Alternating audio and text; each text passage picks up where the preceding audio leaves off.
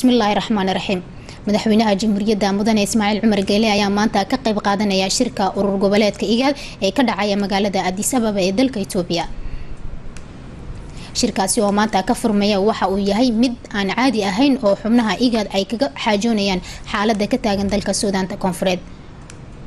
Waa shirki waa shir ku kooban maanta oo keli ah oo ay madaxda waddamada igad ay ku kulmayaan si looga arinsado isbeddelka xaalada dalka suudaanta koonfureed oo imika ay ka soo cusboonaadeen xiisado colaadeed. Hogaamiyayaasha igad waa ayaa shirkan maanta mar kale cadaadis ku saaray. Labada dhinac ee isku haya dalkaasi in ay ku soo noqdaan nabadda xasiloonida iyo wadajirka dalkooga colaada iyo rabshadaha u dhexeeya madaxweynaha suudaanta koonfureed iyo madaxweyne ku-xigeenkiisii hore ee dalkaasi ayaa bilaabmay bishii desembar ee sannadkii hore. Waxaana ay sababtay geerida kumanaan qof iyo barakac in ka badan laba milyan oo qof. Socdaalka shaqo ee madaxweynaha jamhuuriyadda mudane ismaaciil cumar geele waxaa ku wehelinaya wafdi culus oo uu ka mid yahay wasiirka arrimaha dibadda iyo iskaashiga caalamiga mudane maxamuud cali yuusuf shirweynaha sideed iyo labaatanaad ee aan caadiga ahayn ee dalka. Dalalka xubinta ka ah urur goboleedka igad ee lagaga hadlayo xaalada koonfurta suudaan ayaa ka furmay magaalada adis ababa ee dalka itoobiya.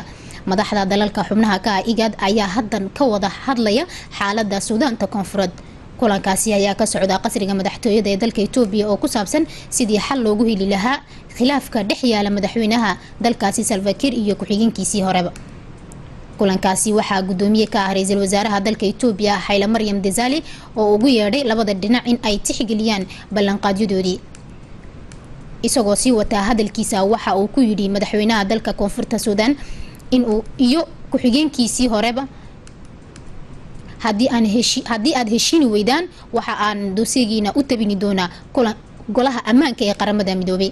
Geestiisa u qaabilsanaha qadiyada suudaanta koonfureed waxauu yihi waxaa la joogaa xili la soo afjaro cadaawada ka dhexeysa dalka suudaanta koonfureed.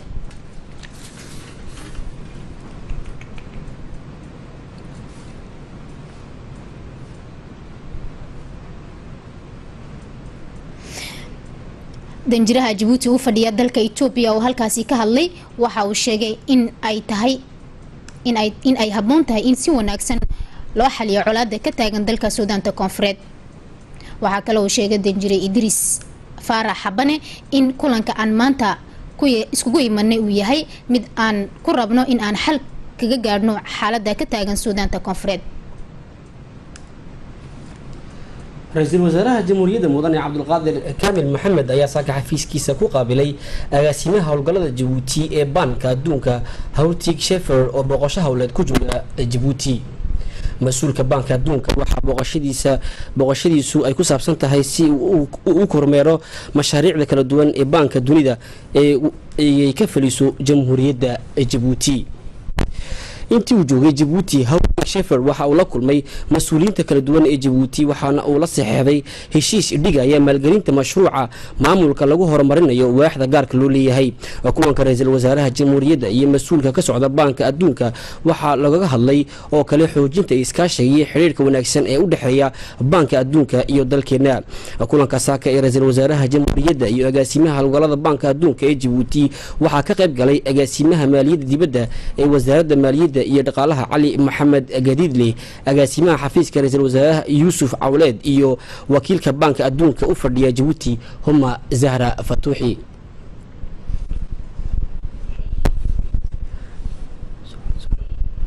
Kulan ayaa maanta ka qabsoomay xafiiska wasiirka dhaqaalaha iyo maaliyadda mudane ilyas muuse dawaale waxaa halkaasi ku kulmay wasiirka maaliyadda iyo dhaqaalaha mudane ilyas muuse dawaale iyo agaasimayaasha agaasimaha ka socda baanka dunida ee u qaabilsan waddamada jabuuti yemen iyo masar. Waatan faadmo saalax oo inooga waramaysa kulankaas. Wasiirka dhaqaalaha iyo maaliyadda u qaabilsan warshadeynta mudane ilyas muuse dawaale ayaa maanta xafiiskiisa ku qaabilay agaasimaha howlgallada u qaabilsan dowladaha jabuuti yemen iyo masar ee ka socda baanka adduunka mister hart wisharf intii lagu guda jiray kulankaasi heshiis ayay qalinka ku kala duugteen.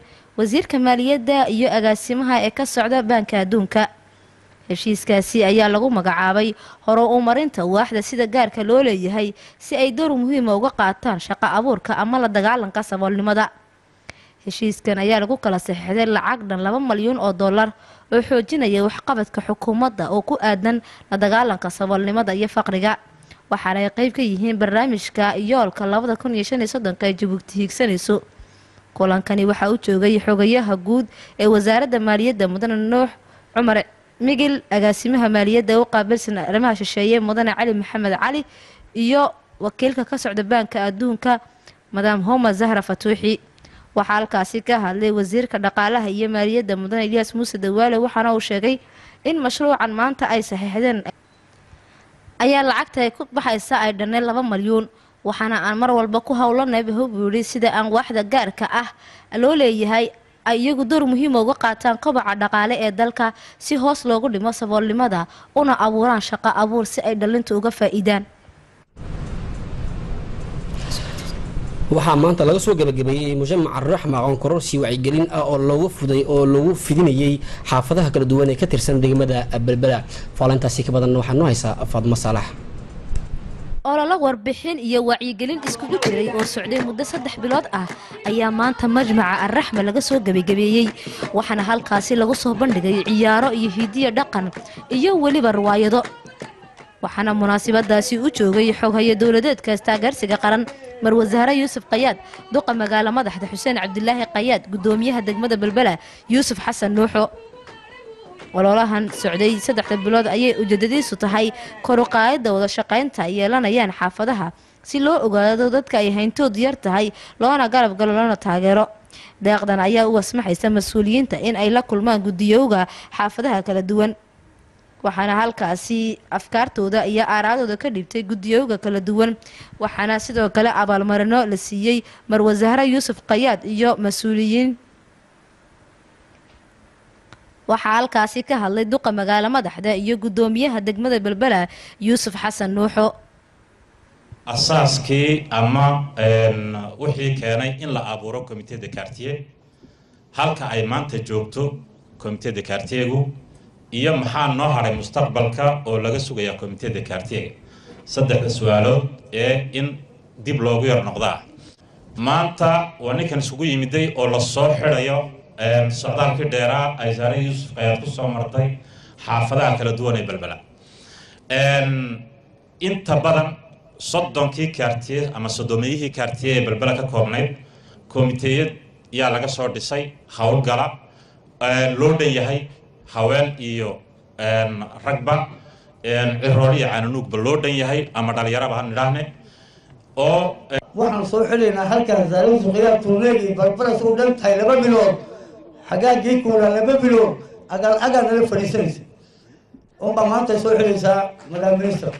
Konsekartiyagu balbalaa waxay ka kooban yihiin sideed boqol iyo konton kooban yihiin sideed boqol iyo konton xaafad haddaa wax yar ka dhaco way joogaan sa udan yihiin way joogaanba labada kun iyo shanti demil katos demil kes anagu waxaan joognaa.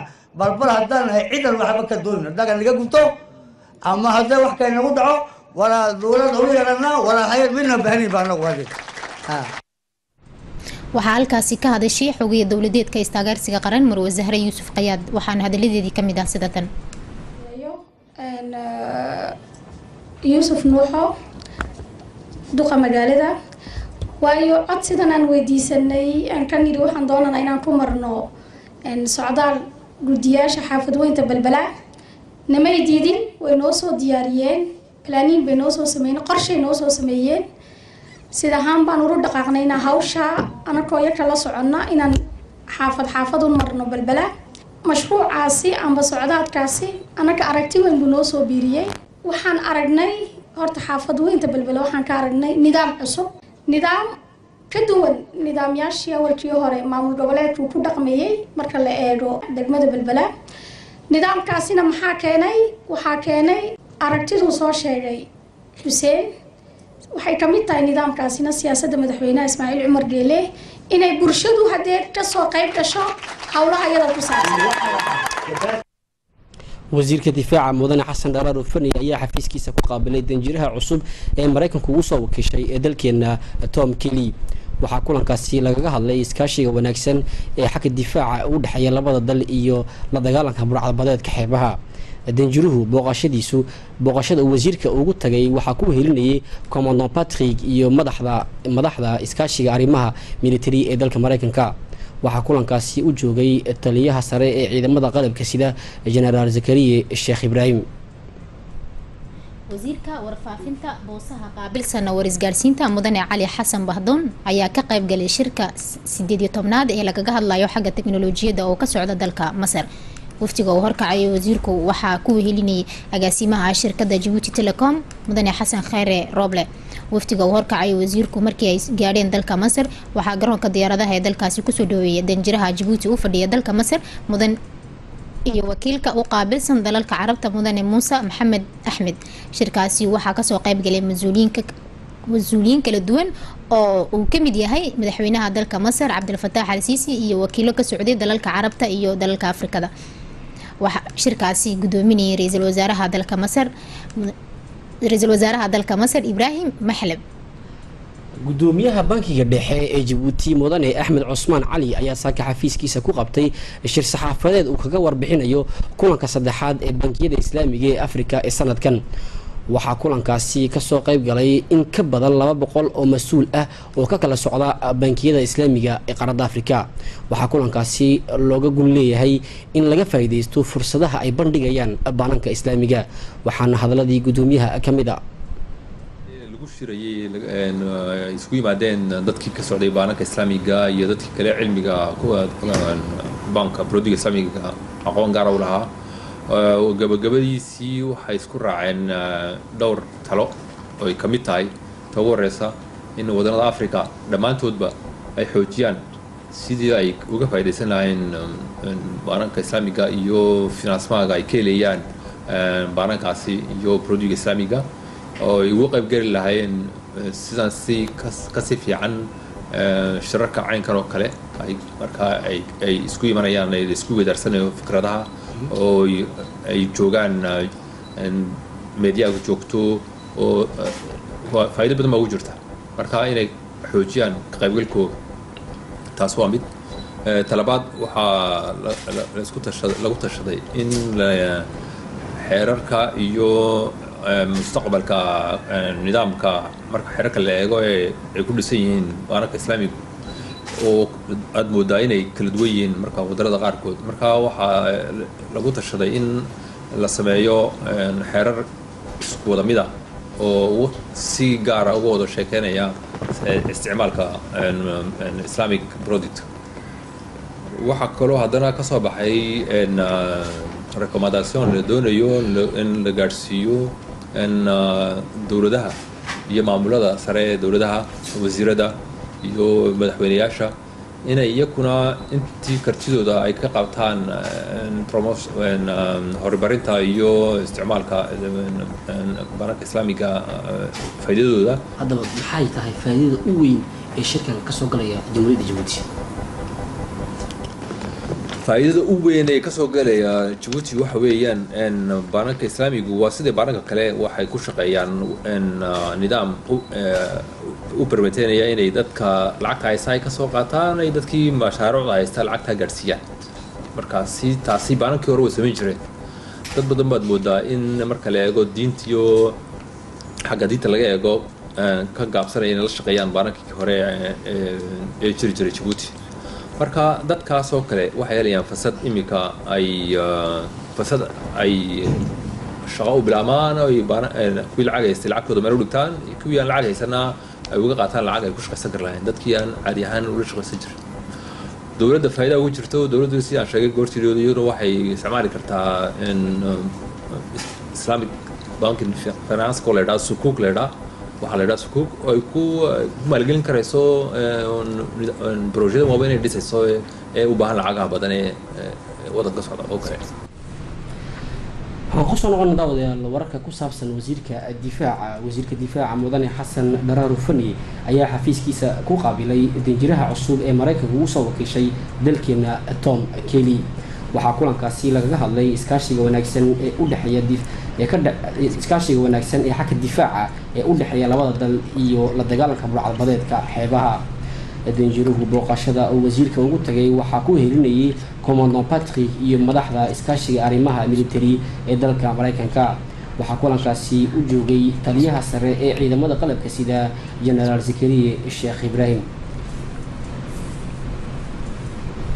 ciidamada ilaalada xeebaha ee jibuuti ayaa saaka qabanqaabiyey munaasabad lagu soo afjiray tababar ku saabsan habka farsamo ee ee ka hortaga maraakiibta sida sharci darada u soo gasha badaheena iyo sugidda ammaanka ee xeebaha iyo marsuunka jibuuti faalintaasi ka badan waxaa inoo haysa faadma saalax muddo laba toddobaad ah lix iyo toban ka mid ah ciidamada ilaalada xeebaha ayaa ka faa-iideysanaya tababar ay u fidiyeen aqoon-yahano waxaana la guddoonsiiyey shahaadooyin iyo hay'ado hadiyado ka soo qaybgalayaashii tababarkan iyo aqoon-yahanada munaasabadaasi ayuu guddoominayay wasiirka gaadiidka mudane muuse axmed waxaana u joogay danjiraha dalka mareykanka u soo wakiilatay dalkeena tom kelly mas'uuliyiinta sarsare ee dalkeena uu ka mid yahay madaxa amniga qaran mudane xasan siciid kheere taliyaha guud ee ciidamada qalabka sida jenaraal zakariya sheekh ibraahim ku-xigeenka jenaraalka cali xasan iyo saraakiil sarsare iyo weliba ciidamada shisheeye ee jooga dalkeena.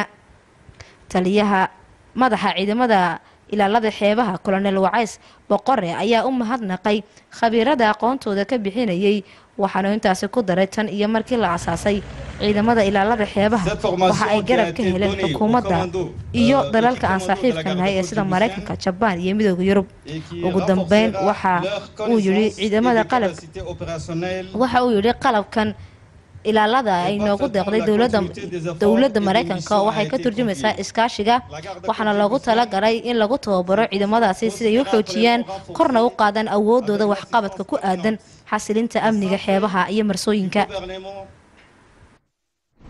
Waxaa kale oo halkaasi ka hadlay danjiraha dalka maraykanka u fadhiya jamhuuriyadda jabuuti tom kelly waxaana hadaladiisii noo soo turjuntay faadma saalax waxa aan u mahadnaqayaa wasiirka gaadiidka sida wanaagsan ee loo qabanqaabiyey tababarkan ee aan wada shaqaynta la yeelanay. Xasilinta amniga xeebaha iyo marsooyinka jabuuti waa waajib u yaalla jabuuti iyo maraykanka iyo weliba asxaabta kale. Waxa aan hirgelinay waxqabad wax ku ool ah sida la dagaalanka burcadbadeedka. Waxaana ka mid ah oo la odhan karaa tan iyo markii tan iyo sannadkii labadii kun iyo tobankii wax markab ah oo ay burcadbadeedku amba ay boobeen amba ay afduubeen. Ma jirto. Ugu dambeyn waxa uu yidhi danjiruhu maraykanku waxa ay rabtaa in ay sii xoojiso cilaaqaadka u dhexeeya jamhuuriyadda iyo dalkaba. Sidii loo xoojin lahaa ammaanka xeebaha iyo marsooyinka ciidamada badda ayaa saaka qabanqaabiyey munaasabad lagu guddoonsiinayay qalabka kala duwan ee lagaga hortagayo masiibooyinka dabiiciga ee sida dabka. Maydhanay ayaa inoo haysa falada warkaasi. Deeqdani ayaa ah qalab lagaga hortegayo masiibooyinka ka dhasha dabka iyo daadadka. Qiimaha qalabkan ayaa lacagtoodu ay dhan tahay boqol kun oo lacagta erowga waxaana loogu talagalay ka jawaabidda baahida ciidamada badda ee jabuuti haddii ay la soo daristo masiibooyinka ka dhasha dabka iyo daadadka qalabkani waxaa guddoonsiiyey madaxa sare ergeyga ika nestor ee midowda reer yurub waxaana ka guddoomay madaxa ciidamada badda ee jabuuti. Korneyl cabdiraxmaan aadan sheekh waxaana u joogay munaasabadaasi oo ka dhacaysay xerada ciidamada badda ee jabuuti taliyaha sare ciidamada qalabka sida jenaraal zakariya sheekh ibraahim jenaraal xasan cali kaamil iyo saraakiil sare. Muddo toddobaad ah ayaa loo fidini doonaa tababar ku aadan saraakiisha sare ee ciidamada badda ee jabuuti si ay uga faa-iideystaan isticmaalka qalabkani heerka sare. Waxaana tababarkaasi fidini doona ciidamada qalabka side ee faransiiska ee jooga jamhuuriyadda jabuuti iyagoo ay ku wehelini doonaan ergeyada ka socda ecab nestor waxaa halkaasi hadal gaaban ka jeediyey munaasabadaasi guddoonka deeqda ergeyga ecab nestor ee midowda reer yurub waxaana uu yidhi maanta waxaan u joognaa muujinta arinta muujinta iskaashiga wanaagsan ee u dhexeeya jamhuuriyadda jabuuti iyo ecab nestor ee midowda reer yurub. Tallaabadani ayaa ah taasoon keennay qalab heer sare ah oo ka jawaabaya baahida ku aadan ciidamada badda ee jabuuti ka hortaga masiibooyinka ka dhasha dabka iyo daadadka. Ecab nestor ee midowda reer yurub ayaa ka howlgashay jamhuuriyadda jabuuti muddo laba sannadood ah. Jabuuti waa goob nabad ah oo xasiloon. Waxaa halkaasi ka hadlay madaxa ciidamada badda kolonel cabdiraxmaan aadan sheekh waxaana hadaladiisii inoo soo turjuntay muna jibriil. Waxaan maanta iskugu imanay munaasabadda aan ku guddoonnay qalabka amniga oo taya leh waxa aan u mahadnaqayaa waddamada faransiiska iyo jarmalka ee u fidiya taageerada qalabeed ciidamada badda ee jamhuuriyadda jabuuti. Koronel cabdiraxmaan aadan waxa uu hoosta ka xariiqay in tababaro loo fidin doono ciidamada badda si ay qalabkan uga faa'iidaystaan. Geestooda mas'uuliyiinta reer jabuuti waxay iyaguna xog ogaal u yihiin in deeqdani ay tahay dhambaal ka turjumaysa iskaashiga wanaagsan ee u dhexeeya waddamada noogu deeqay. Mar walba qalabka ciidamada badda taasina ay muujinayso in dalkeena lagu kalsoon yahay waxaana ugu dambeyn uu mahad celiyey ee cam nestor. Sida ay u garab joogto haddii ay ahaato xagga qaran amba degmo.